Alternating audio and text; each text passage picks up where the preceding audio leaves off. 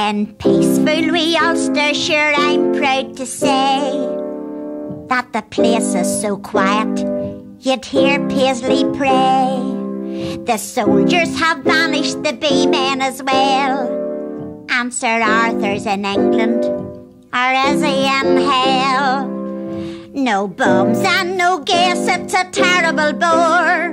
Bernadette, Hume, and Cooper are at the bruised door. And Billy Craig's gone, he's in Dublin, of course. They've put him in charge of the Irish police force. Now Terence O'Neill, he's the president there. And Chichester Clark, sure, he's Dublin's Lord Mayor. Mr. Bowles back at Trinity, so is McGlade. Both digging the gardens with a shovel and spade. And quiet Jack Lynch, now